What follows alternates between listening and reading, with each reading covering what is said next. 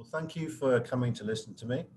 Uh, I, as as um, as Ashika said, I'm, I'm Alex Ellery. I'm at Carleton University, uh, and a few years ago, I started looking at the possibility of building self-replicating machines uh, and asking the question of whether they are a technology of tomorrow or of today. And I hope to persuade you uh, during this talk that they're a, they're a technology of today.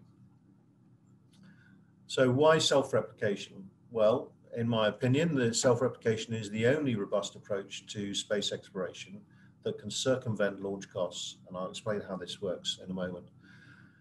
But the key to what self-replication provides is, uh, is the ability to grow productive capacity exponentially. Um, so if you can imagine each, each cell or each unit is a factory, um, then uh, basically you can ex rapidly expand, exponentially expand your, your productive capacity by multiplying your factories. So let's take an example. Uh, if we if we take, let's say, a 10 ton self-replicating factory to the moon, now current, you know, uh, current costs imposed by Moon Express, this would cost you about $7.5 billion to send 10 tons onto the surface of the moon. Now, with self-replication, uh, the cumulative population of these units grows to over one and a half million within just 13 generations. So your initial capital cost of $7.5 billion has been amortized over this exponentially increasing productive capacity. Now, if we take two offspring per, genera per generation, over 13 generations, the specific cost to the moon has dropped from $750,000 per ki kilogram, which is the Moon Express rates, to less than 50 cents per kilogram of productive capacity. So if each 10 ton factory takes six months to build, we essentially could have one and a half million factories in just 6.5 years on the surface of the moon. Now, each of each of these, uh, you know, million factories produces a thousand solar power satellites. When I talk about solar power satellites, I talk about smaller ones. Uh, we could have potentially uh, a billion solar power satellites units uh, built uh, extremely rapidly, and I'll talk about that right at the very end. So we could potentially supply our global energy needs uh, entirely cleanly without any CO2 production at all from space. But the point is that self-replication effectively sidesteps launch costs. So all these all, all, these attempts to try and reduce launch costs, they reduce them by an order of magnitude or maybe a little bit more. But this actually really, really knocks it on the head that essentially launch costs become almost irrelevant. So where does this self-replicator come from? Uh, it was originally proposed by John von Neumann, uh, the great Hungarian mathematician. Uh, and what he devised uh, in the 1950s was the, a theoretical framework which suggested that a sufficient but not necessary condition for self-replication is something called universal construction.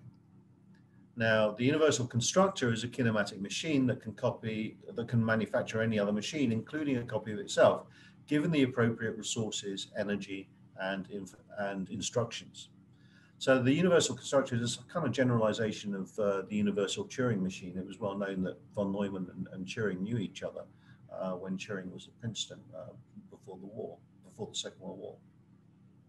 So the universal constructor is kind of idealized in von Neumann's framework uh, as a kind of programmable, generalized kinematic arm in a sea of parts. So this would represent a structured environment. If we want to adapt this to an unstructured environment, we have to consider that the, the universal constructor comprises a suite of kinematic machines, from load haul dumpers, drills for mine as mining robots, programmable pumps for driving chemical processes, mills, lathes, 3D printers, and manipulators. So uh, when we translate uh, this theoretical concept into the real world, uh, it becomes much more complex. But the, the common feature of all these machines is that they are all specific kine, kinematic configurations of electric motors. And the core to every single one of these machines, it, ooh, the core to every single one of these machines is the, is the sensory motory control system comprising motors, computational electronics, and sensors, which I'll talk about in a few minutes. So imagine we're on the moon. Well, the moon has a, has a relatively simple geology, pyroxene, plagioclase, primarily anorthite, olivine, ilmenite. Uh, how do we manufacture the stuff that we need on the on the right hand side of the, on, on, on the right hand side of the slide, the table? Uh, so we have various particular types of functional uh, uh, materials. Um, let's say, for example, look at electrical conduction. We can use uh, potentially Fernico, which is a, is a, such as Kovar, which is a kind of iron alloy uh, of nickel and cobalt. Uh, we can use pure nickel. We can use aluminium. But essentially, on the right hand column shows that essentially 10 basic materials are required to supply the full functionality that we require to build a simple robotic spacecraft. From Earth, we can source the vast, we can source all these materials from the moon, uh, but we would need to uh, supply a minimal set of reagents from Earth uh, because sodium and chlorine are extremely rarefied on the moon, and these could be imported from Earth. Now, in terms of the, what seems to be a disadvantage, actually we can turn to advantage because it provides us with a means for, for preventing uncontrolled replication. And this I've called the salt contingency. Uh, one of the things that now the universal construction must be supplied with appropriate resources to self-replicate matter, energy, information. But the most important constraints are what are known as the closure conditions. So if you can imagine uh, a mobile phone, um, you take it apart and you look at each component in turn, and then beneath that you also look at uh, every single uh, material that's made that's made out of, and so a whole host of processes need to be coordinated to put that telephone together. Now, in order, so basically, there's a fan, there's a there's a, uh, a wide range of series fan in to this one component. Now, in order to control the complexity, we need to control uh, the materials, the energy, and the information actually that goes into uh, our self-replicator. And the first is materials and parts closure. So every component has a portfolio of materials, processes, and machines required for its manufacture. So if we want to close the matter loop, we need to minimize the amount of mining we have to do and minimize the chemical processing that we have to do. And this is where the demand demand list comes in that you saw a moment ago. I'll introduce you to the industrial ecology in a minute and uh, various other and a couple of other chemical processing techniques. We also need to restrict the parts inventory to minimize the manufacturing and assembly costs. And this is where 3D printing comes in, and I'll talk about that in a moment. There's also an energy closure issue. Uh, the uh, the energy gener generated must exceed the cost of the energy to build, and this on Earth this is now in in uh, in on Earth, this is known as uh, energy return on investment. Uh, so to close the energy loop, we need to maximize the use of direct environmental energy, uh, for example, solar energy and thermal energy. I'll talk about that in a moment. Uh, we want to maximize electrical energy conversion efficiency. Uh, we want to minimize the amount of energy wasted in processing waste. So by eliminating waste, we actually reduce the amount of process, the energy required for processing. And this is where the industrial ecology comes in. And we also need to restrict, uh, ensure that all processes minimize the energy, energy consumption. And an example of this is the uh, Metalysis FFC process and 3D printing also. And the final part is information closure, uh, which I don't really want to talk about too much because that's a whole field in itself. But essentially, you don't, you can't have the the information required to specify the self-replicator cannot exceed the capacity of your storage space within the self-replicator.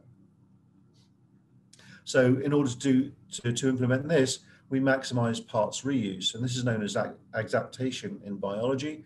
And basically it minimizes the information required to build the, uh, build the self-replicator. So for example, electric motors can be co-opted as well as actuation. They can be co-opted for energy storage as flywheels and vacuum tubes, for example, uh, for computation could be uh, co-opted for energy conversion. We'll look at that a little bit later.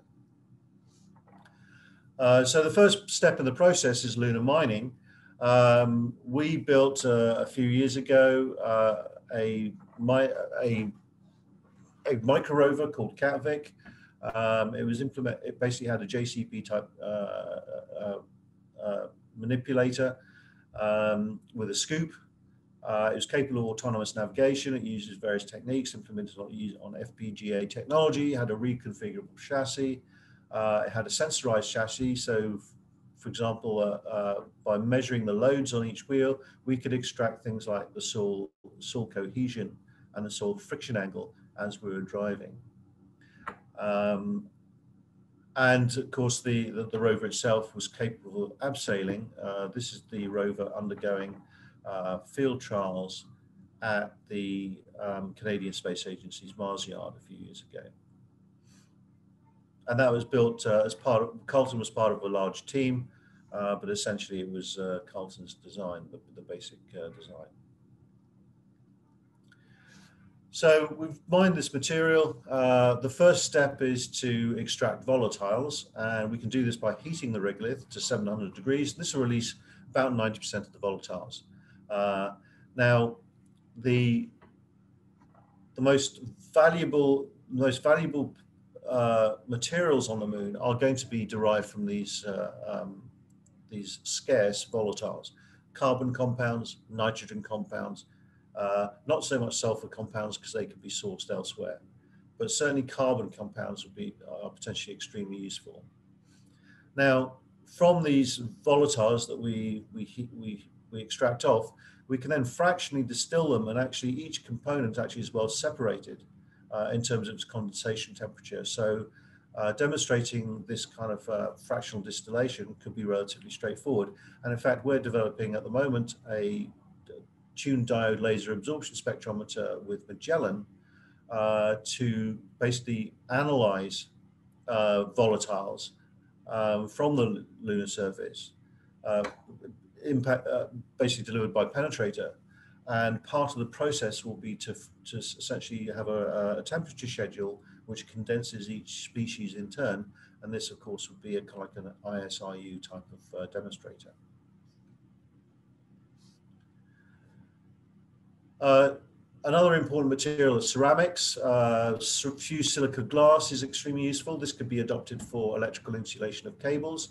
Another ceramic is porcelain. Amazingly enough, one of the byproducts of our of our um, industrial lunar ecology is is kaolinite, uh, which is a clay which can be used to which can be fired into porcelain. And again, this is used in electrical insulation, uh, known as knob and tube technology, um, for electrical distribution in bases, for example. But for uh, but for um, for systems that that undergo loads, uh, you probably don't want to use ceramics. You probably want to use something more flexible, and silicone plastics offers a uh, offers a possibility. Now, the advantage of silicone plastics is that the silicon silicon oxygen backbone minimizes the amount of carbon that you consume uh, it's also highly radi uh, UV radi uh, radiation resistant, has a much higher operational temperature than normal plastics, up to about 350 degrees. That can actually be increased to much higher temperatures with certain additives. Uh, and it can be used only sparingly for flexible wire sheathing. Uh, it is a well-known process for uh, deriving from skin, syn, syngas uh, to uh, PDMS, which is the commonest and simplest siloxane uh, using the Rochow process. Uh, the HCl involved, of course, is recycled. That's not consumed. Uh, and so, again, the, the chlorine that we require from Earth is not actually consumed in the product itself. So in the maria regions, there's plentiful ilmenite. Uh, we can take the ilmenite, heat it at 1,000 degrees uh, in the presence of hydrogen, and this will produce uh, iron metal um, rutile and water. The water can be split into hydrogen, uh, which is recycled, and the oxygen then be, be used for supporting people, uh, or, or as the oxidant component of propellant. The iron can be separated from the uh, rutile by heating it until it liquefies at 1600 degrees. This is actually a very, very well established technique. Now, with certain additives from this iron, we can create a number of different alloys Pure iron itself is actually relatively tough uh, and malleable. It can be used for tensile structures. Uh, cast iron we probably wouldn't use, um, but I mentioned it there.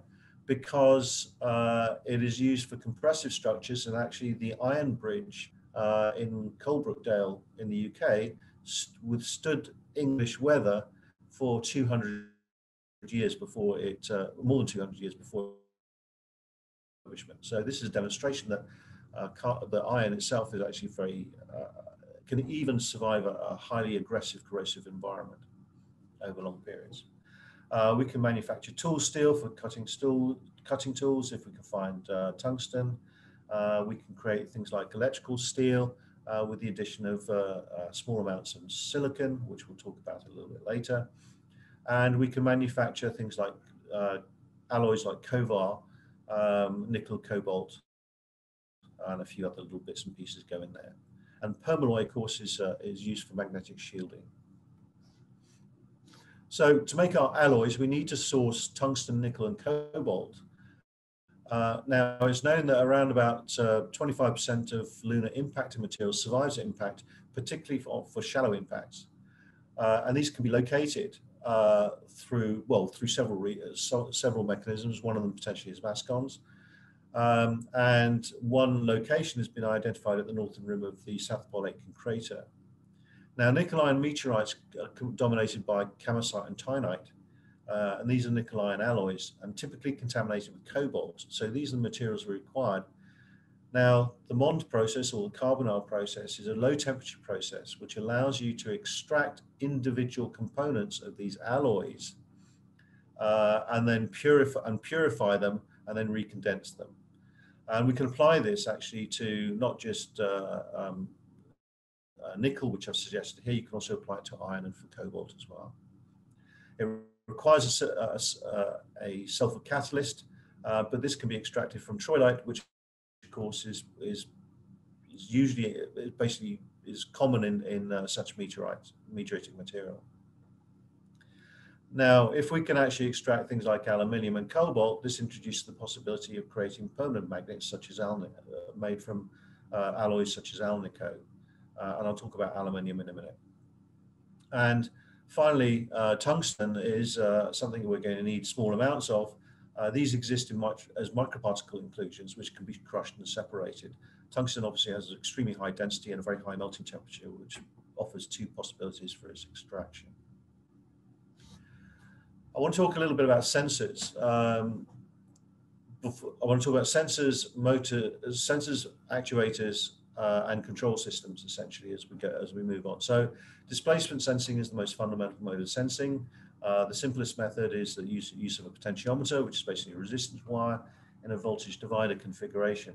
And rotary potentiometers are widely used in, you know, robotics uh, in high radiation environments. So we use them on Kapvik, for example, for the rocker bogie linkage angle, angle measurements. Um, so resistance wire is simply electrical conducting wire. Aluminium uh, can be used for this purpose and this can be extracted from lunar anorthite. Now, anorthite is a very common mineral in the lunar highlands, uh, and what we can apply is essentially an artificial weathering process. So we use our imported, well, we, we, we've imported salt, we can convert that into HCl acid, we can heat that, and what through a two stage, well, actually through a three stage process, I've only listed uh, just uh, two stages here, uh, we can actually extract uh, silica uh, which is precipitated out from silicic acid. And we can also uh, precip precipitate out alumina as well. Now, alumina itself is extremely useful uh, by itself. It's used in crucible linings. It has physical properties only exceeded only by diamond. Uh, silica is a raw material used for generating fused silica glass. One of the problems with trying to manufacture glass from uh, lunar minerals directly is that they tend to have iron in them, and iron makes them dark. Uh, so it makes them useless for optical purposes. So fused silica glass can be used. So we want to be able to manufacture Fresnel lenses, for example. Now, one of the byproducts of this is uh, calcium chloride, uh, and this basically is the electrolyte used for the FFC process, which I'll talk about in a moment. Um, so it provides a mechanism for replenishing that. Uh, now, together, alumina and silica may be, although they have utility in itself, they can also be re reduced directly into aluminium metal and silicon conduct, uh, semiconductor uh, directly uh, using the FFC process. Now, the FFC process is a very powerful process. It's an electrolytic process, uh, relatively low temperature, 900 to 1100 degrees uh, centigrade. It comprises a cathode, which is essentially the metal oxide, which has been crushed and sintered into a shape, uh, which is immersed into the electrolyte at this temperature. the, the electrolyte is, is liquid, but the, the actual uh, ceramic itself is not liquid.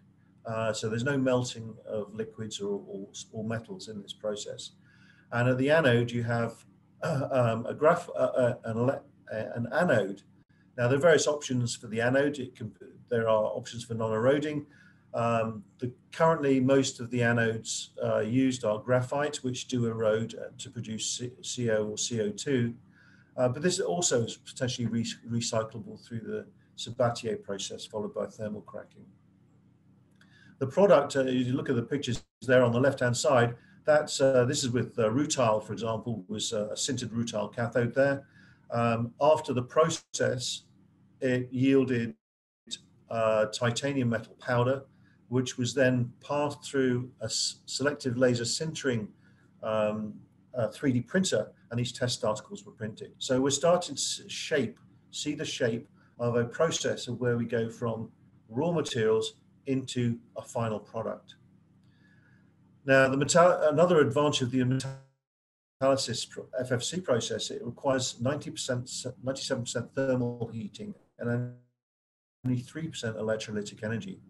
What this translates as is that rather than generating electrical energy with, with large energy losses uh, to heat the uh, to heat the electrolyte, a, a, more direct approach would be to use something like the uh, Fresnel lenses to heat the electrolyte directly from solar energy. That would be far more efficient. Uh, what I mentioned before, just a couple of things. This is uh, the, it's a very busy slide, I, I understand. Uh, this is the lunar industrial ecology, where we're trying to construct uh, all the materials we need to build uh, some kind of robotic machines of various kinds on the moon. Uh, we have the ilmenite here, which I mentioned. I talked about the uh, MOND process uh, here. Olivine, I haven't really mentioned, but this gives us access to magnesium. We have uh, anorthite, which I just mentioned, volatiles I mentioned, and these. This, of course, is the um, the imported material from Earth, the NaCl, uh, which is then processed to create the various materials, reagents that we need to support the other processes. And there's, of course, orthoclase also is uh, another material that we uh, need. And a byproduct, of course, is kaolinite. Uh, the point to note is that uh, it would be too. If I tried to draw all the arrows to where things feed into each other, it would just be it would just be a big, huge globular mess. Um, but essentially, this this uh, ecology is is pretty much self-contained. Uh, there are well-established inputs. there are X number of inputs. The outputs are relatively small. Most of it is recycled uh, and can be used directly into product. There's very, very little waste in this. So let's move on to 3D printing. Uh, we, I started looking at this uh, partly because I got a 3D, uh, the RepRap 3D printer a number of years ago. Uh, many of you may, may be familiar with it. It can print many of its own plastic parts. Um, now, if we take the RepRap as our starting point, um, the bits in white essentially were printed by its daddy. Um, how do we extend this self-replication process to incorporate the entire machine? Well, we'd need to uh, print the, the, metal bars and the uh, you know other other metal components. And we have there are techniques to do this: uh, selective laser sintering uh, or selective laser melting or electron beam additive manufacturing. All can do can deal with metals. Uh, we need to have joinery for all the nuts and bolts uh, that uh, are actually on this device, uh, but a lot of these can be replaced with cement or adhesive.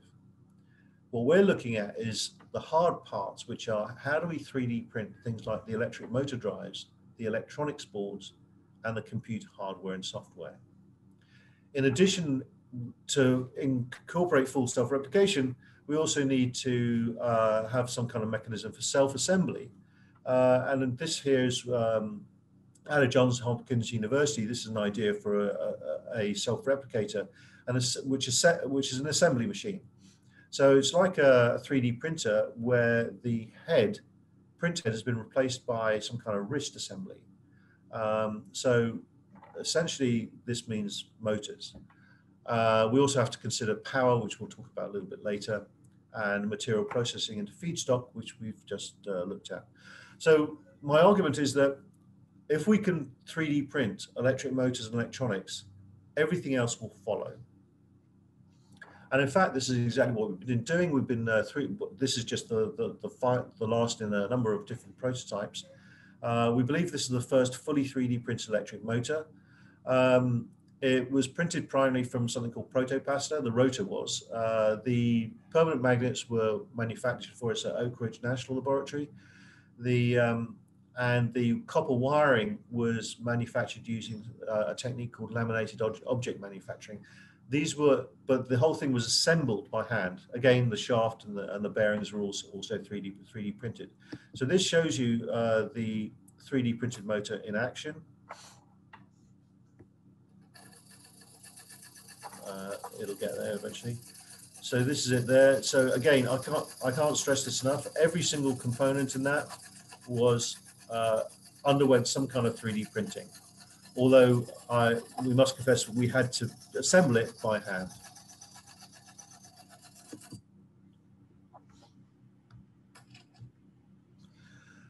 So let's, uh, that's the motor. Uh, let's look at um, another type of sensor we might need is some kind of vision sensor. Uh, and the imaging is fairly fundamental if you're going to do robotics as a remote sensing, uh, remote sensing technique. Now, one possible rather than actually use uh, sort of like the current approach, which uses uh, um, uh, PN junctions and so on, uh, we one possibility is to use selenium, which is a semiconductor that was used in the Victorian photophone by which one of the inventions by Alexander Graham Bell. Uh, it's a P-type semiconductor. Uh, and this uh, it's basically light sensitive. So silica, selenium is found in association with uh, metal sulfides. Uh, in metal sulfides, of course, occur on the moon in nickel iron meteorites in the form of troilite. And it can be, the selenium can be extracted by uh, smelting with soda, which is sodium chloride, and saltpeter, and uh, through a series of processes, um, selenium can be liberated. So this provides us with our um, photosensitive material. Uh, and again, because we need to use uh, uh sodium, this is part of the salt contingency uh, uh, because sodium is very rare on the moon. And again, the sodium is not consumed. Now, if we can make, if we can actually extract selenium, we can potentially manufacture photomultiplier tubes, and I've written a paper about this actually, which is essentially a vacuum tube where the primary emitter is coated, coated with selenium, and the secondary emitters are coated with either alumin, uh, alumina or magnesium oxide. So we've also been looking at uh, building, well, 3D printing in a, in a, more general context, not just extrusion, uh, all 3D printers comprise the same process. Essentially, you've got an XY printing head uh, with a Z, Z moving deposition table. Uh, so essentially, 3D printers are Cartesian robots. For me, as a roboticist, that's uh, that's uh, quite. I treat 3D printers as robots essentially. Uh, and we're interested in two technologies. One is selective solar, solar sintering, which I'll talk about in a minute, and the other one is EBAM, which is electron beam additive manufacturing. Now we've been developing uh, selective solar, sintering using our Fresnel lens. So the idea is that the Fresnel lens we, is used as a solar concentrator for generating thermal energy. And we actually have a, a two meter square um, Fresnel lens, which is capable of generating up to 1500 degrees spot temperatures.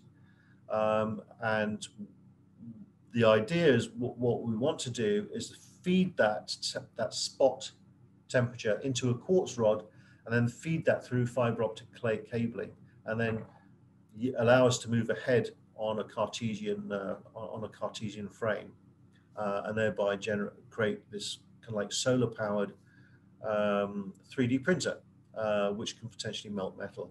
Uh, we're in the process of building that. I'll talk, I'll talk about that in a bit more detail in a moment. Electron beam additive manufacturing is ba based on the electron gun, which is essentially a high voltage vacuum tube. Um, it can only melt metals though. Um, it can't it can't melt uh, plastics and it can't melt uh, ceramics. However, um, as I'll speak, talk in a moment, we can deal with ceramics in an alternative way, and plastics we don't have much of on the moon anyway. We can we can we can we can process them using extrusion.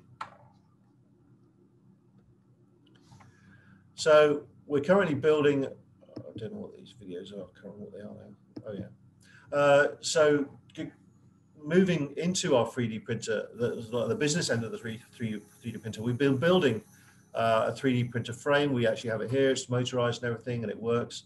Uh, and what we're currently doing is trying to fit heads on it. Now, we've done some experiments with a smaller Fresnel lens for melting aluminium alloy. Um, and what we found is that we can actually melt aluminium alloy onto uh, silicone plastic um, because silicone plastic is actually tolerant to, to, to melting uh, of um, the, the temperatures of melting for aluminium alloy. So this actually introduced some interesting possibilities because what it means is that we, um, at the bottom here, we actually have our silicone plastic extruder. We can actually lay a layer of silicone plastic and then lay aluminium powder on top and then melt that thermally. Um, we, we're currently still working on this, but we demonstrated basic, the basics of it. Now in our printer, we want to add two heads to demonstrate this. One is our thermal fiber optic head using solar energy to melt aluminium. The second one is our silicone plastic extrusion head. The next phase after that will be to add a third head, which is a milling head to allow us to mill whatever we print. And the third phase will add a wrist, uh, as we saw Moses, the, the, the Moses uh, design uh, from uh, Johns Hopkins, uh, implements essentially a wrist and then the final phase will be to migrate to steels and ceramics. Now, the key behind this is to, is to print silicone plastic, flash heat it in oxygen. That will drive off the carbon, carbon dioxide, and that will leave a layer of silica ceramic. And onto that, we then be, be able to melt steels. And we could repeat that process in, in alternately. So that is the idea is that we can start to introduce like high temperature steels uh, with ceramic through 3D printing.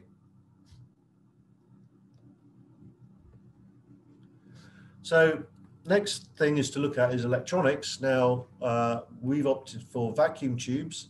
Uh, these are still used uh, for twitters on spacecraft. They're more radiation tolerant than solid state uh, devices. They have a relatively simple construction that would potentially printable. We haven't demonstrated this yet.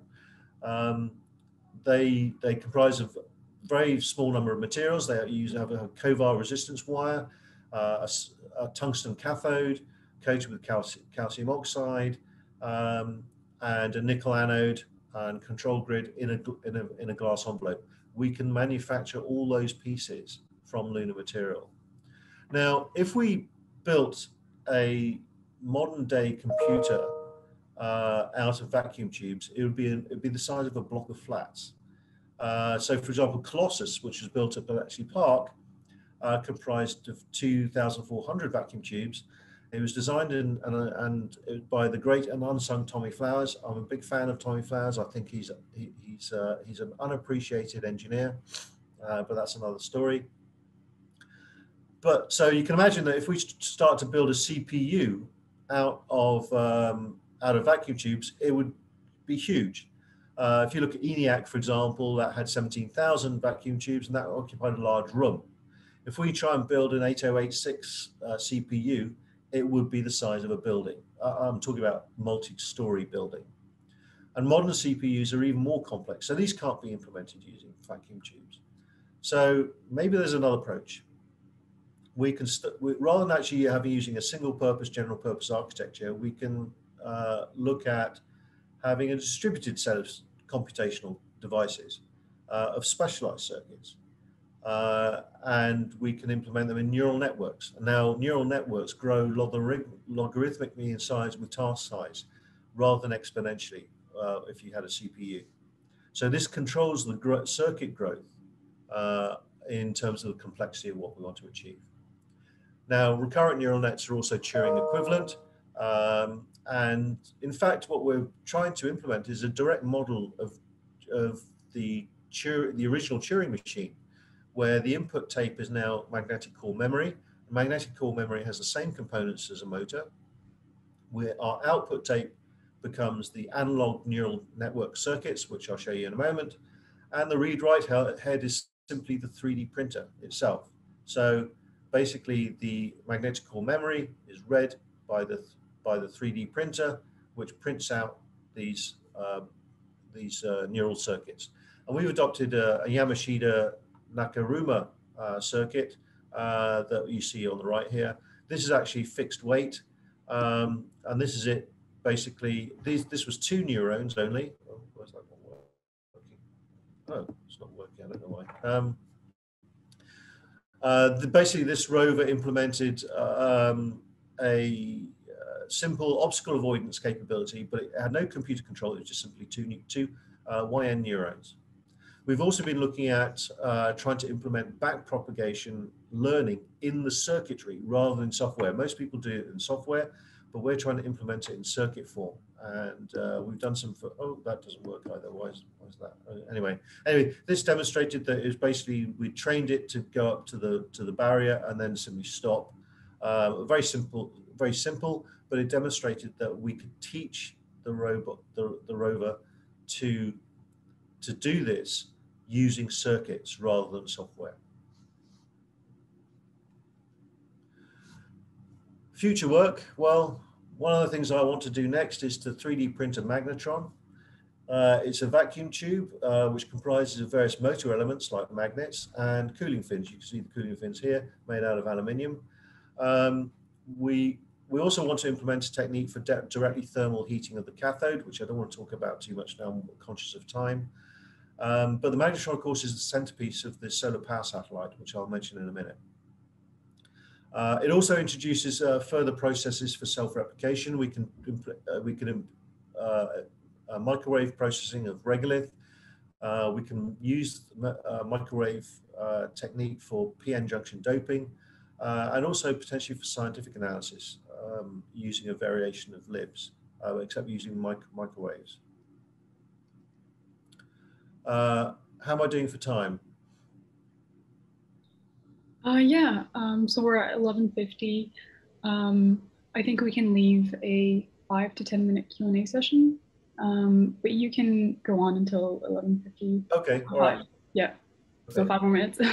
okay, um, so uh, I mentioned earlier that we can exapt uh, our motors and our vacuum tubes for other purposes to try and reduce the amount of information load that we need to implement. Uh, and one approach is to use thermionic conversion uh, in vacuum tubes um, as our means of generating electricity. So I'm not going to go into detail here, but essentially we can coat uh, calcium oxide and alumina uh, onto our cathode, our tungsten cathode, um, and essentially generate thermionic conversion of electricity. Now, this has a, an efficiency of about 10 to 15 percent. Now, potentially we can increase this by incorporating uh, potassium vapor uh, within the vacuum tube. We can minimize the interelectrode distance. Uh, we can also shape the electrostatic field within the device as well. And the, this potentially can, can, in theory, increase the efficiency to about 40%. There is also an additional technique called photon enhanced thermionic conversion, which adds another stage to this, which can potentially increase the uh, conversion efficiency to 15%. Uh, and we can use silicon for that, for that purpose. We can also add a third stage using thermoelectric conversion, though this is unlikely to give us very much. It's, this is only a few percent, but certainly a conservative estimate of, you know, using these, some of these techniques can give us a, a, certainly a, a, conversion efficiency of 30%. And that is much better than proposals for uh, manufacturing uh, photovoltaic cells from lunar material. um, which you typically are about 5% maximum uh, conversion efficiency, primarily due to the problem of doping. What about storage? Well, two week night on on the moon, uh, you, you you need to supply energy during the nighttime, and this can be accomplished using flywheels. They offer uh, they offer uh, zero uh, depth of discharge. Uh, they give you a relatively good. They give you a high density of, of energy storage, reasonably good power density, and depending on the material, the material determines what speed we can we can run the wheel at. And if we run it gla with glass, again, we can manufacture uh, a fused silica glass from lunar material. We can get up to 100 watt hours per kilogram. Uh, we can also incorporate things like uh, silicone elastomers uh, when we construct them as hoops to try and reduce the radial stresses. Uh, we would put them into a Halbach motor configuration um, with uh, frictionless magnetic bearings. And again, we've seen how we can we can manufacture magnets uh, from the moon. So uh, we essentially can build everything we need for a flywheel uh, using uh, lunar derived material.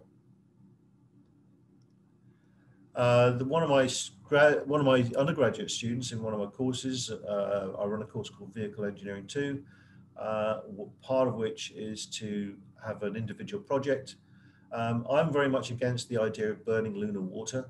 Uh, it's a non-renewable source. People are talking about extracting water ice from the uh, from the poles, and then basically splitting it and using it as cryogenic propellant.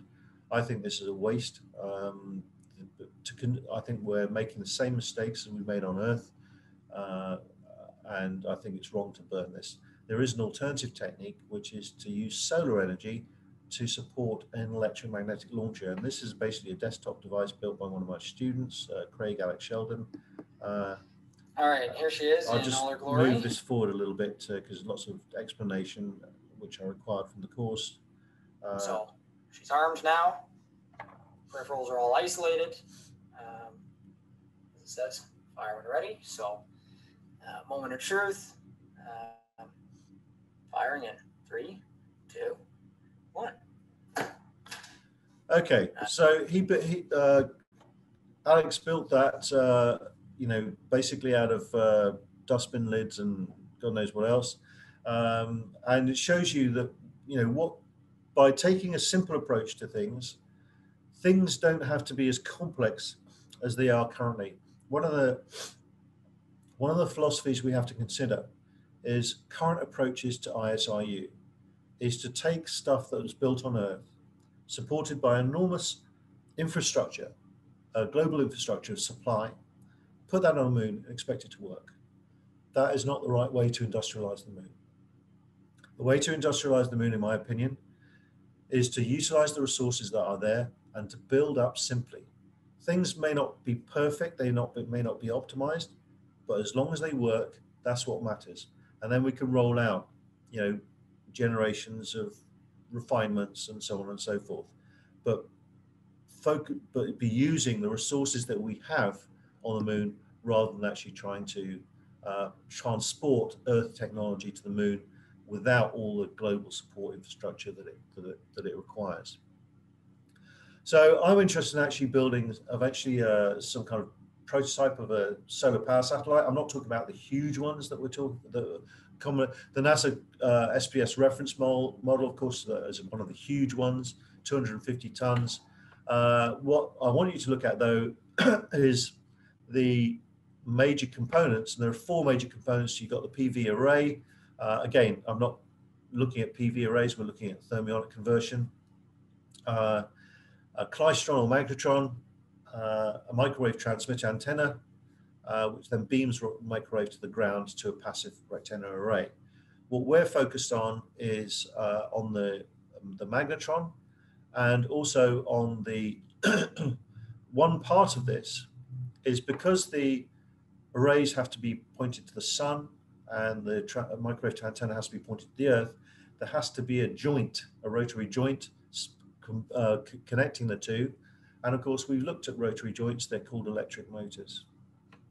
So global energy cons consumption is about 15 terawatts. Uh,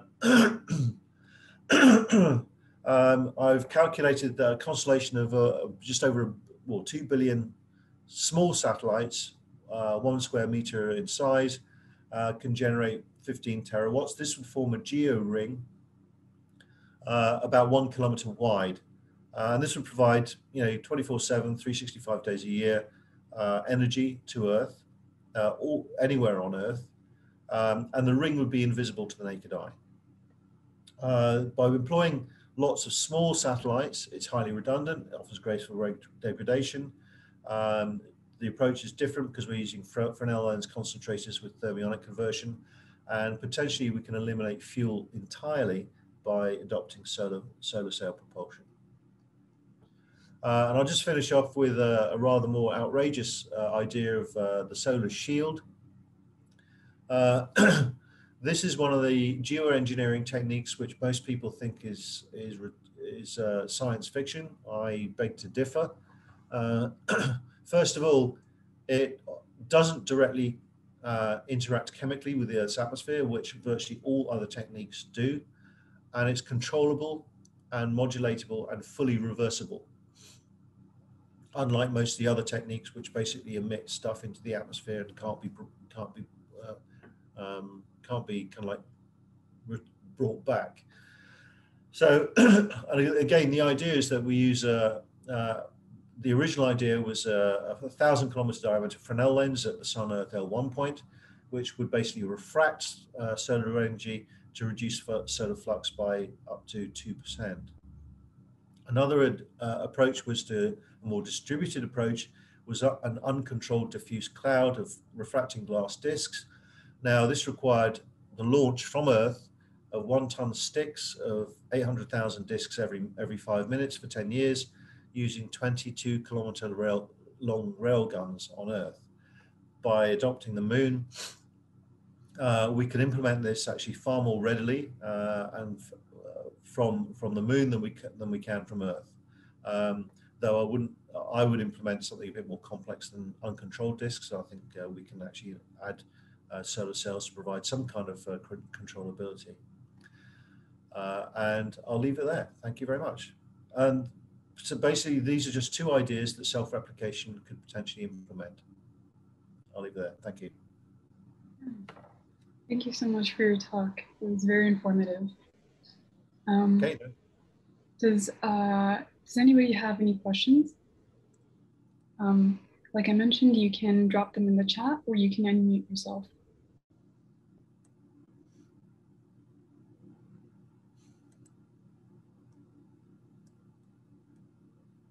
Uh, I can start with a very uh, simple question. So yeah. you showed the video of uh, a machine working with the parts built by a 3D printer. Yeah. Um, I was wondering how long it takes to actually print those individual parts.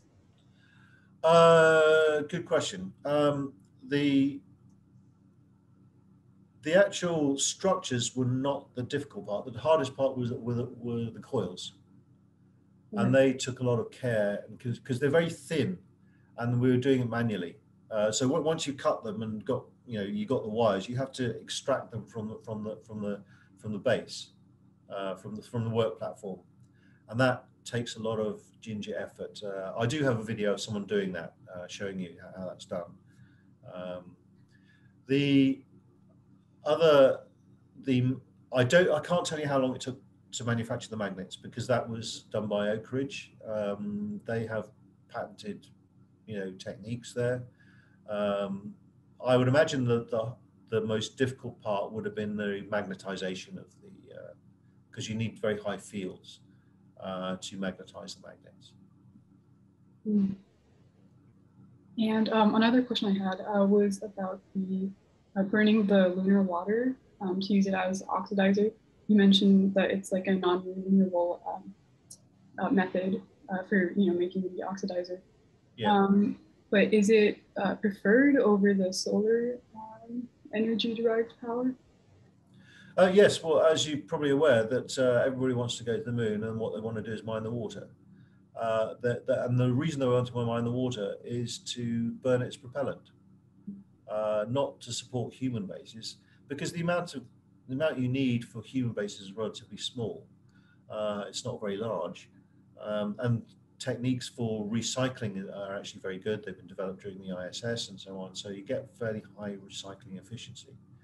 Um, the primary goal for lunar ice is to split it into hydrogen and oxygen as a cryogenic propellant oxidizer and store it and launch it to the gateway and store it there ready for basically to support, support a one or more human missions to Mars. Mm.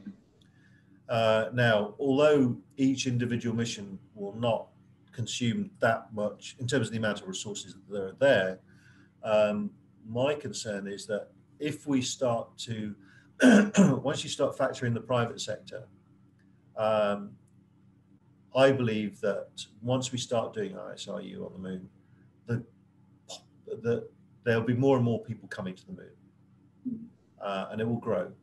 And once it grows, demand will grow. And to me, that that's a mistake. I think that's a that consuming all that water, it'll never come back. If we want to use the water, we should ensure that we recycle it, and you can do that use, using things like uh, you know through um, uh, uh, closed loop um, ecological life support systems. You recycle everything, um, but burning it means it's gone. Mm. And I think we should be concentrating on developing electromagnetic launches, which eliminates that need for launching things from the moon, consuming uh, hydrogen and oxygen. But my view is very unpopular. Thank you. Thank you for providing us this perspective.